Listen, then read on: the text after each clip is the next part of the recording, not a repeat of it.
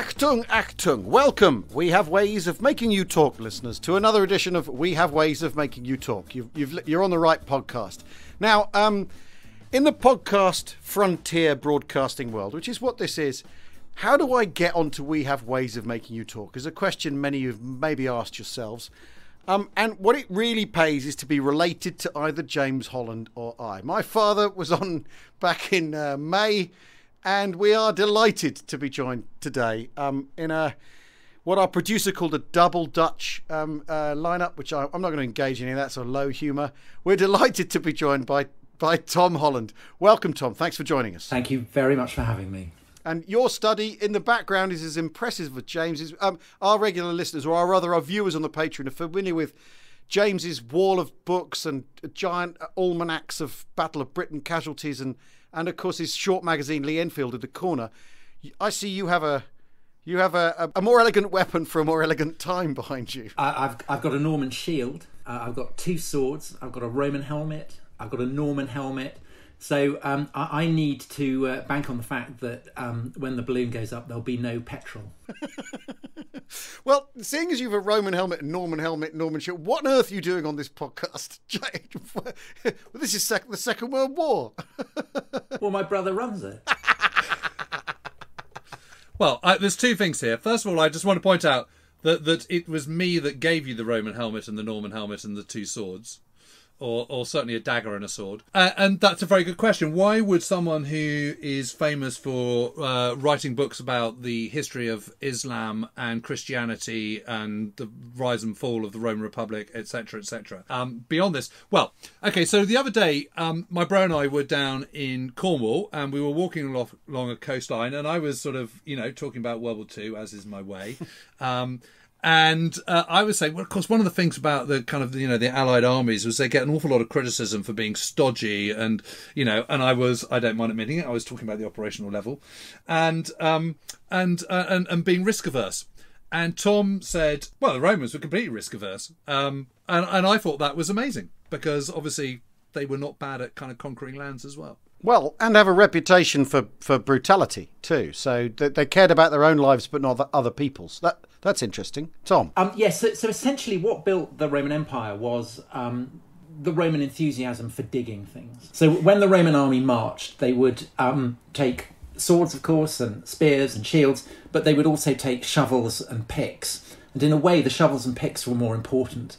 Um, there's a case for saying that the legions essentially were an engineering outfit who were occasionally called upon to fight. I know that that kind of goes against the kind of the image of, of, of, of the Roman army as, as kind of lethal killing machine, which it also was. The Roman understanding was that you, you couldn't kill barbarians unless you had a secure base. So the priority when marching into enemy territory was to dig a fortification, to settle down, and then to use that as a base from which to repel any ambushes and hopefully um, when you get the chance to wipe out a few uh, Germans or Gauls or Goths or whatever, um, then you take full advantage of it. But the the the, the, the thing that um, caused a, a, Roman general, and I would guess the entire mass of the Roman soldiery, absolute palpitations was the idea of not having a base to retreat back to. And it was always the policy of a Roman general. If they were in a civil war, they would always make sure that they would capture the opponent's uh, uh base because then they could be absolutely certain that they would gain victory. So if that is if that's kind of redolent of um, of, the, of the, the, the Allied approach to uh, to war, that's probably you know the Romans always won and the Allies won, so it might be a, a useful strategy. Gosh, that's very interesting. I mean, in, in a way that I went to, I mean, I went uh, and James has been as well. I went to Camp Bastion five years ago, and uh, you immediately were conjuring up an image there for me of that enormous sort of citadel in the Afghan desert, desert nowhere near anything that they would send patrols out to brass up the the, the the, the, local villains and then and then retreat back into the base. Uh, uh, but the, the, engineering is at the key, the core of the Allied effort in in the, in the certainly. I mean, you you can't talk about D-Day without talking about an engineering effort, that the sheer the scale of it, and basically the establishment of a lodgment of a base from which then you can roll forward. But were the were the Romans were the Romans uh, doing this because this was the way to win, or because they cared about Roman their own lives, their own casualties? Well, both. Um, manpower is incredibly important. Um, and one of the reasons why um, Rome emerges from being this kind of outpost of, of cattle rustlers camped out among marshes and bogs to become the greatest power in the world is that they hoard their manpower and whenever they annex other people, they make they they tie them up with treaties that obliges them to supply them with manpower. So they understand that the larger your army, the likely you are to win. Um, but but but but equally, I think it's it, it it is absolutely a kind of safety first approach that they knew they knew worked.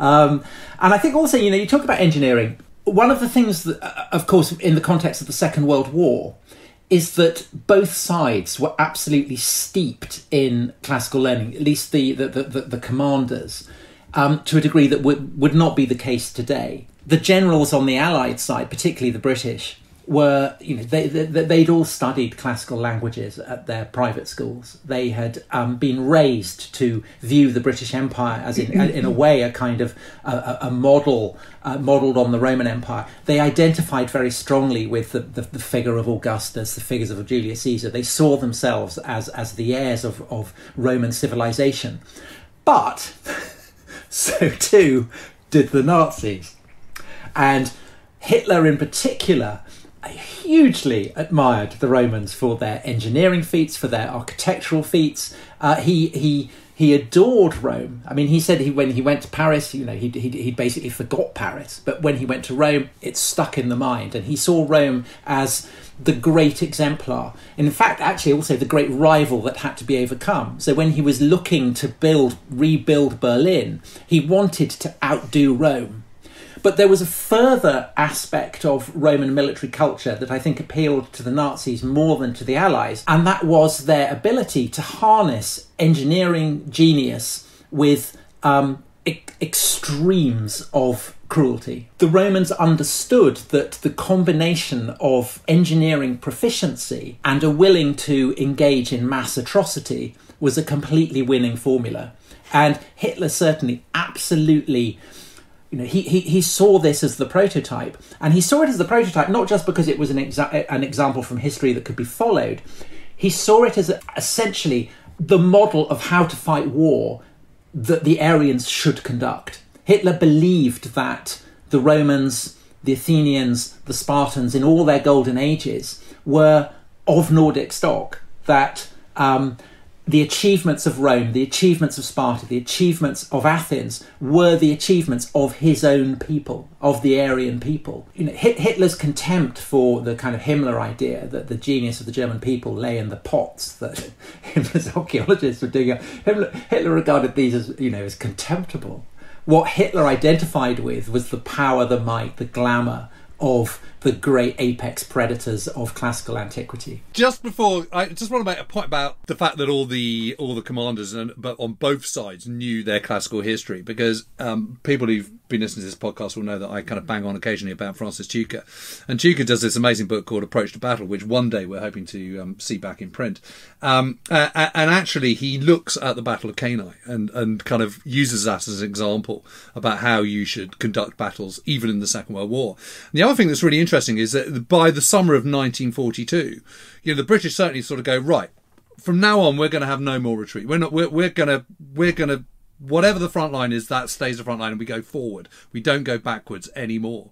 Which is, it strikes me when you were talking about it the other day, bro. Is that it's quite a um, quite a sort of Roman approach. I mean, I know they have their bases from which they, they can retreat, but it's that kind of risk averse, not risk averse. It's about being making sure that you don't get yourself into a position where you can be defeated um, as much as you possibly can, which seems to me incredibly sensible. And I don't know really why, you know, if it worked for the Romans, why the Allies have been criticised for it in the Second World War. It is really interesting about what you're saying about, about Hitler, because Himmler is certainly into all this kind of sort of wacky stuff, isn't he? And, you know, Christ and Iceland theory and all that kind of stuff, and Spear of Destiny and the Ahnenerbe.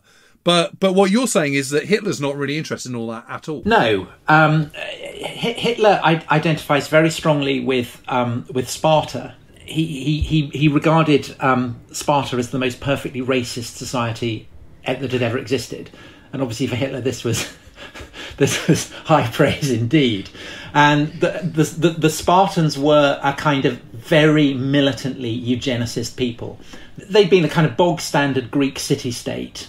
And then essentially they, they had this kind of revolution where every Spartan citizen committed himself to the art of warfare. Every Spartan woman was committed to the idea that she had to breed uh, heroes for the future. And this city state turned into this kind of terrifying mutant predator that then went on the attack and annexed its neighbours, the city state of Messenia, and, and, and uh, stupefyingly, because this is not what the Greeks generally did, conquered the whole territory and turned the um, the Messenians into into slaves, what they called helots. This for for Hitler seemed absolutely the way to go. Hitler viewed the Spartans. They were they were they're, they're you know Helen of Troy is from Sparta. Kind of blonde haired. This idea that the Spartans were an authentically Nordic people. They had a, an absolutely revolting cuisine, a kind of black broth that Hitler traced from its origins in Schleswig Holstein. So he was convinced that the Spartans were a kind of outpost of Germans planted in the Peloponnese in southern Greece, and therefore were the ideal model for um, the Nazi war machine. And so, particularly, uh, Heydrich, I think, when he was um, talking about um, how uh, occupied territory in Poland and, and, and Russia should be administered, specifically invoked the example of, of how the Spartans had treated the Helots. This was the program. Helots were not, you know, they weren't allowed to be educated. They were they were kind of spiritually and morally degraded by becoming drunk um, the Spartan the Spartan education system, the best, the kind of the, the, the senior prefects, if you like, would be enrolled into this terrifying organization called the Krypteia, kind of literally the secret service. And the way that you would kind of um, earn your spurs, you kind of, don't know, you'd earn a kind of badge to put on your school blazer or whatever, was you'd go and you'd literally kill a helot. You know, if there was any kind of uppity helot, anyone who showed any ability or, or anything like that, um, you'd go out and kill them. So the Spartans were interested in honing their own stock as a kind of master race and degrading the Messenians so that only those who were sluggish, stupid, doltish, obedient, servile would breed. They understood that. And so you can absolutely see the appeal of this for, for Hitler, for Heydrich, for the German commanders in the occupied territories in the east. I, I, I mean, in the in the table talk and all the uh, and Hitler's ramblings, helot is a word that's used an awful lot. Is this the? the I mean, uh, the problem not the problem. One of the things about antiquity is who's telling us this about the Spartans? Is this their enemies saying, "Oh God, what these these people are? Um, they're they're this crazy uh, proto-racist military state that that that treats its slaves terribly the way we never would or is this the spartans telling us is this coming direct from sparta this information about sparta if you see what i mean the spartans don't write because the Spartans are busy. I mean, they have poetry, they have kind of marching songs, but they don't sit down and write philosophy. Uh, they don't write history. Um, they don't build buildings even. So uh, Thucydides in, History of the Peloponnesian War famously says that, that, that were the Spartans to be wiped out and future generations go to Sparta, they would look and they would not believe that the Spartans were as powerful as, as people said because there's nothing there to see. So essentially, historians refer to, the, to, to Sparta as a mirage, the Spartan mirage, because it, it is a kind of creation of foreigners, particularly of Athenians, who are obsessed with Sparta in the way that. Um, kind of upper class intellectuals in the 30s were obsessed with the Soviet Union.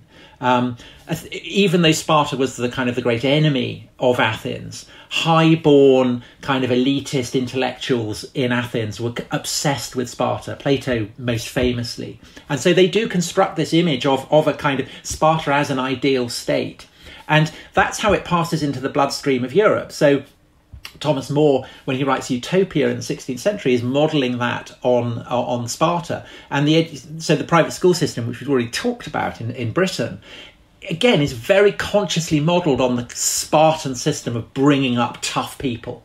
Uh, that's what it's all about. But the Nazis do push it to kind of incredible extremes, and what Hitler does is he he brings his his assumption that everything is predicated and to be explained by race to ancient history. And so that's why he sees and interprets Sparta entirely in racial terms. And other Nazi ideologues, for instance, interpret Plato when he writes The Republic, which is uh, Plato's idea of how you organize an ideal state. And Plato's very big on the idea that Uh, people of different abilities should serve different roles. So if you're suited to govern, then you govern. If you're suited to be a cobbler, if you're suited to be a, a, a slave, then those are the roles that you fulfill. Nazi ideologues interpret these in overtly racist manners, and they say that the you know as in Sparta, so in Athens, Plato is writing about the Athenian aristocracy who are the Aryans and Plato, therefore, is saying that Aryans should rule the lesser stock that the Athenian elites have conquered. This is how the Nazis understand Roman Republican history. So in Rome, you have a, a, a class system where you have patricians who are a hereditary class of aristocrats who basically kick sand in the face of the lower classes who are called plebeians. And the Nazis inevitably say, well, the patricians are a kind of Führer aristocracy. You know, they use the word Führer to describe the aristocrats of the Roman Republic. These are the the the the, the, the Nordic stock who have conquered uh, Latium, and the plebeians are of kind of lesser stock. And it's the the Roman Nordic aristocracy who fuse and shape the whole city of Rome into the killing machine that it becomes. But that's essentially how the Nazis explain the achievements of Sparta, Athens, and Rome, who are the three great kind of exemplars. So, what you're saying is that their ideological approach to Untermenschen uh, and, uh, uh, and and various undesirables, whether it be Jews or Gypsies or Slavs or whatever, that is Hitler is modelling his approach on the Spartans' approach to helots. Yeah, I, well, I, I, I, think he draws inspiration from it. I, I think it, it, it, provides him with a kind of obvious model. Hitler is sufficiently respectful of history that that the fact that the Spartans are doing it gives it a kind of cachet. But but but as I said, it's also that he feels that um, by by emulating what the Spartans did, he's being true to this kind of Nordic inheritance. That that that it's in the way the Spartans organize their society that um, you know good Nazis can feel that they are paying homage to their ancestral past rather than by going around digging up you know a few pots. I mean, it's not. It, he wouldn't be the first person to use ancient history to underwrite his um, contemporary view, though, would he? It, it sounds so peculiar because it's coming through this Nazi prism, which, after all, is um, doing two things: is it's self-consciously looking forward to a new morality that's post-Christian, and also back to an, another morality that's pre-Christian. And uh, uh, you've you've just written a book about exactly that um, uh, idea, haven't you, Tom? Uh, the, the, the, Nazis are the Nazis are quite deliberate. Hitler, Hitler, you know, he takes his time politically to go to war with the church, and he's doing it. He's doing it to chip away at other other um, uh, bastions of moral authority in the German in the German sort of body politic. But he's also doing it because he he because he doesn't want competition in that regard. Is he doesn't like he doesn't like Christianity. He's he he doesn't he doesn't value it, doesn't rate it, doesn't buy it on any level, does he? Uh, he positively detests it um, because, of course, hanging over um, idol worship of antiquity is the, the uncomfortable fact that, that Sparta and Athens and most famously Rome end up falling. They decline and fall. Um, and so if you're you know you, you want to establish a Reich, an empire, and you have loads of eagles, and you're you're you know you want to rebuild Berlin to be greater than Rome, the shadow hanging over it is that it will it will collapse and fall. So why does Rome fall? This is, of course, the great question. And, and Hitler's theory as to why Rome falls, you can guess who he blames it on. He blames it on the Jews because the Jews turn up and they infect the pure Nordic racists of Athens and Rome with their sinister cosmopolitan concern for the weak and the feeble. And the person whom Hitler blames more than anyone else for the collapse of, of Rome is St. Paul, who, uh, of course, is a Jew. And Hitler sees Paul's Jewishness uh, as a kind of expression of resentment and envy. It's it's the it's the envy of of the worm for the warrior. It's the envy of the, the basilis for the for the mighty lion.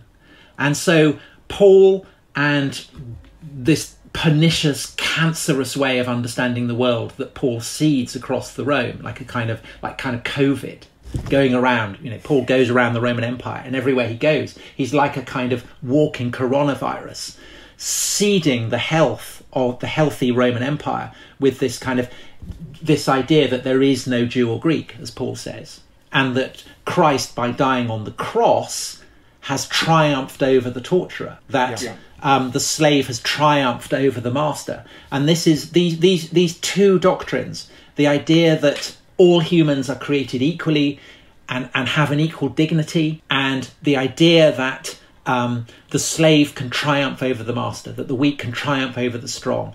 These are the doctrines that end up sapping and ultimately destroying Roman power. And so Hitler sees this as the great challenge that faces the Third Reich. If if if Hitler if the Nazis win the war, if they um, they they they establish their thousand year Reich, what is to, to give it its its millennial term? What is to give you know how will it stand true?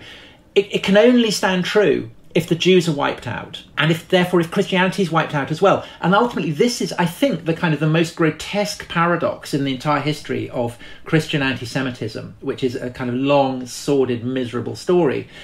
But Hitler essentially targets the Jews for genocide because he blames them for Christianity. Yeah, I mean, in theory, it was a it was a sort of amongst uh, amongst um, anti-Semites, or, you know, the modern, the early 20th century anti-Semites. This was this was a you know, Jesus was a Jew. It's another Jewish idea. Um, that's been sent to corrupt and undermine in the way that, of course, capitalism is is the is the fault of the Jews. Communism is the fault of the Jews. Uh, again, it's everything goes through his racial prism, his racial theor- theoretical prism, and delivers blame at the Jews regardless.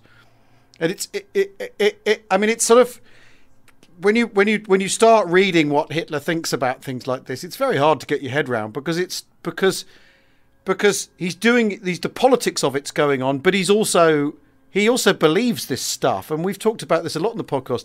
You've actually got to he actually believes this. They actually believe this. They do, and they act on their beliefs, which is quite extraordinary. And at the same time, he's portraying himself as messianic. He's using Christian language. He's using uh, quite self-consciously using using the lingua franca of Christian religion that, that that Germans are really super familiar with. You know, the the birthplace of the Reformation of Luther. The German language is invented through um, uh, uh, the Christian Reformation in the 16th century, and Hitler's using using some of that garb to sell himself to the German people. It's quite an, it, the brew it, that he comes up with is quite extraordinary, isn't it? Well, it, it's interesting you said that, that Hitler sees Jesus as a Jew because what's fascinating is that actually Hitler, even Hitler, can't quite bring himself to condemn Jesus. And so Hitler and, and, and many Nazis buy into this idea, which actually, ironically, is a kind of um, something that the, the, the, the rabbis and the Talmudic period propagate, which is that Jesus was the son of a Roman centurion called Panthera. This idea that that, that, that, that therefore perhaps he, he Panthera was, was was of Nordic stock, so therefore Jesus was actually Aryan. So you're right that that, that, that even as, as Hitler and particularly Himmler, who really detested Christianity and kind of drew up this 40 year program to eliminate it completely, they did recognize that there was value in the in in aspects of Christianity. Um, chief of which, again, as you said with Luther, is that that Luther was a massive anti-Semite. You know, there was lots that you could do with that. They, the, the, there's a big conference that the, the, the Lutheran Church hold in the Wartburg, which is where um, Luther um, went um, to, to to translate the, the, the, the New Testament into German, so kind of foundational text of, of German Protestantism. And there they, they meet up and they, they, they develop this kind of heresy whereby everything Jewish in the Bible has to be purged, which of course doesn't leave you very much. Um, but essentially, the argument is is that the, the God of the Old Testament is not the God of the New Testament. Um, it's kind of it, was- it was originally propagated in the second century by a, a, a heretic called Marcion, and this is what the Lutheran Church buy into. When I wrote Dominion, the um, the book you very kindly alluded to out this week, um, I, I I kind of drew on um, Lord of the Rings, which was being written by Tolkien uh, at exactly this period. He was writing it over the course of the Second World War. Essentially, what the, the Nazis wanted to do with Christianity was what Sauron wanted to do with the um, the wraiths who succumbed to the power of the ring. He wanted them to be turned and perverted and changed to agents of evil, so that they could then become servants of, of, of, Nazism and fascism. But obviously, any any any form of Christianity that was compatible with National Socialism wasn't going to be anything that. that any Christian would would uh, over the course of the previous two thousand years would have recognised.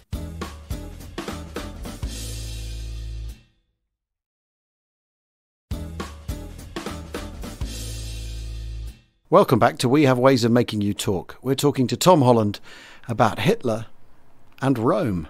I'm just bog- I'm boggled by all of this. Uh, when you try and get in, in into Hitler's thinking, then consider the how he was then able to influence a, a whole people into running along with a lot of this thinking.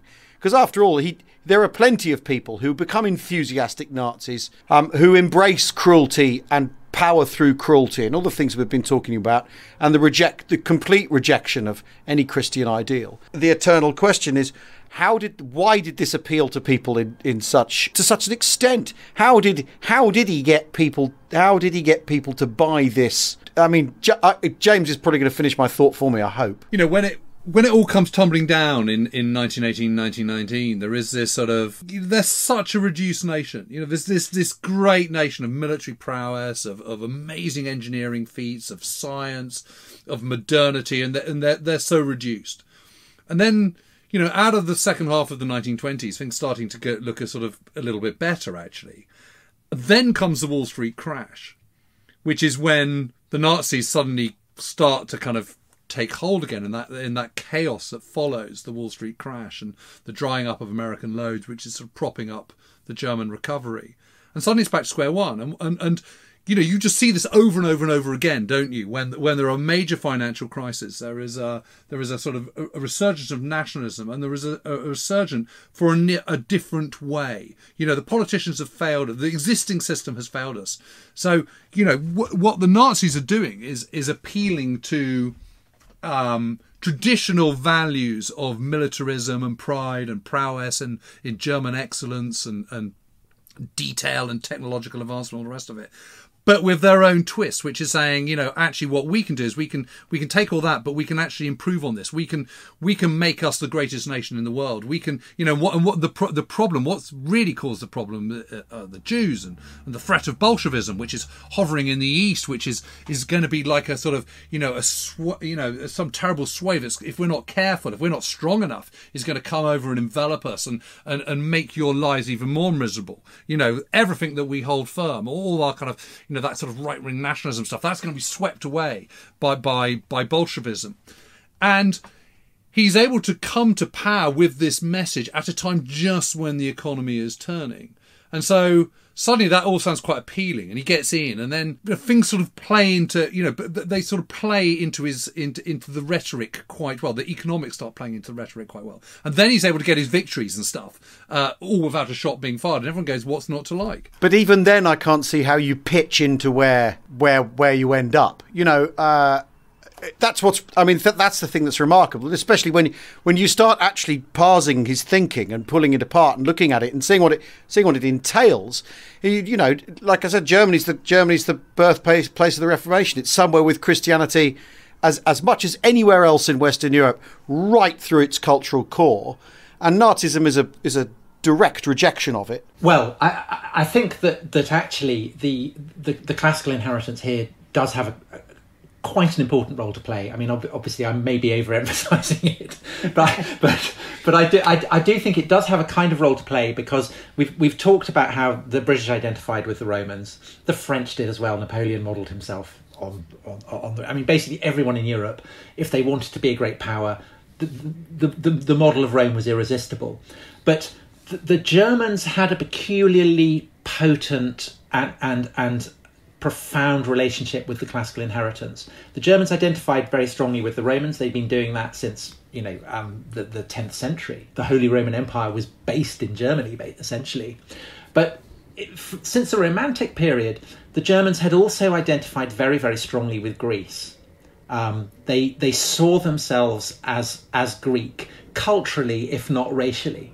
And so what Hitler did essentially was to give to intellectuals, artists, uh, anyone essentially who had come into contact with the, the, the, the, deep German enthusiasm for ancient Greece, the possibility of a kind of more intense sense of identification with that inheritance. So when, when the Germans invade Greece and they, you know, they force the pass of Thermopylae, where the Spartans had, had stood and been wiped out by the Persians. And they, they, they knock the British out from, from Thermopylae and they march into Athens, and the swastika flies over the Acropolis. Um, Hitler is able to tell the Germans that you, the Germans, are closer to the ancient Greeks than the modern Greeks. The modern Greeks are a bastardized Slavic people. The, the, the golden age of Athens and, and, and, Sparta has gone. It's been racially corrupted. Uh, their, their, their descendants have, have vanished. You, the German people, you are the true ancient Greeks. And so by occupying the Acropolis, it, they weren't foreign occupiers. They were reclaiming what was their own. And likewise with, with, with Rome. Um, Hitler identifies very, very powerfully with Augustus. In, in, in 1937, Mussolini stages a great exhibition in Rome because it's the 2000th anniversary of Augustus's birth. Hitler goes twice to see it. Augustus had been emperor in AD 9 when three legions were, who had failed to build a palisade, failed to build a camp, were wiped out uh, amid the bogs of, of, of northern Germany by um, uh, a, a, German warlord called Arminius. Um, and this essentially is what prevented um, Germany from being Romanized. And this, for, for lots of Nazis, was a source of great pride, and they identified with, with Himmler was into. Um, Himmler was into the idea that the heroic Germans had seen off the Romans. But Hitler's perspective was slightly different. He admired Arminius, but he admired Arminius not because he was a German, but because he'd been Romanized. Arminius, it's a, it's a Roman name. Arminius had served in the Roman army. So he saw, Hitler saw Arminius as a model. He was a German who had been Romanized and therefore had been able to defeat the Romans themselves. But he still identified with Augustus as well. And Augustus found a city that was made of brick and left it a city made of marble. So Augustus is a mm. conscious model. So Arminius and Augustus, the two enemies, Hitler sees himself as reconciling these two traditions. And again, this is something that kind of appeals to the vanity of the Germans, just as, as for the British, identifying themselves with the Romans appeal to their vanity.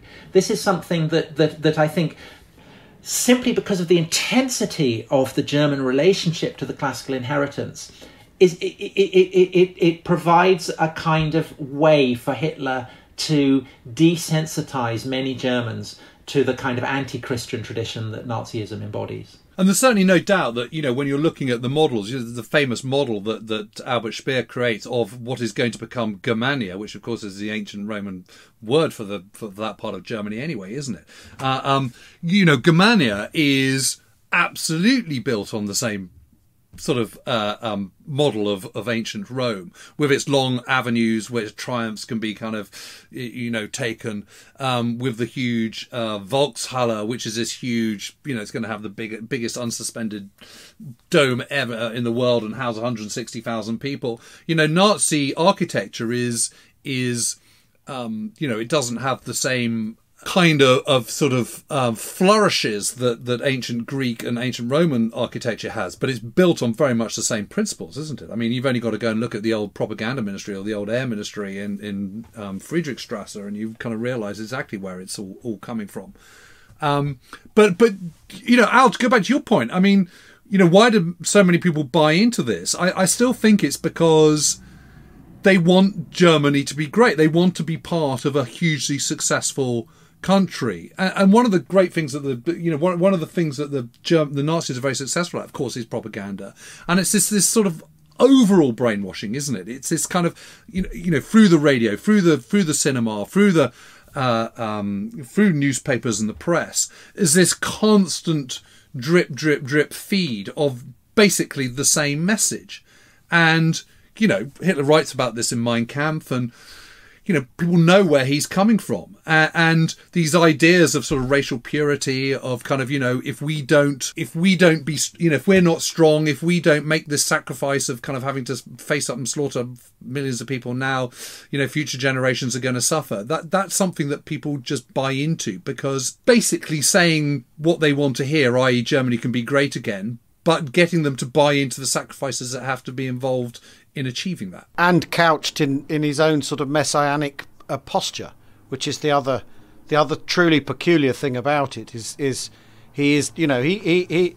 He, uh, he, he turns up at Nuremberg like Christ entering Jerusalem. It's it's the it's got all that built into it too, which is I think really which is really really I, I, you know, there are so many striking things about how these ideas catch on. The clear hunger in Germany for someone to come along and solve solve everyone's problems.